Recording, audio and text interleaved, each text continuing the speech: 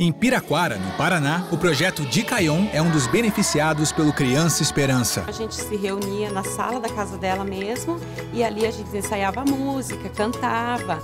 Então, né, o período que a gente não estava na escola, a gente ia para casa dela e ali a gente, ela ensinava a gente a música.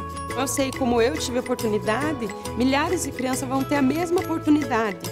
De, de, ter um caminho, de seguir um caminho correto. A gente tive a vontade de tirar as crianças das ruas, dar a elas essa oportunidade de estar cantando e se apresentando, principalmente sendo aplaudido. E para Piraquara foi muito bom, porque como nós estamos num lugar assim onde a gente presencia muita violência, é, foi um atrativo assim para que as famílias pudessem vir assistir o coral se apresentando. Criança Esperança. A sua esperança não está sozinha.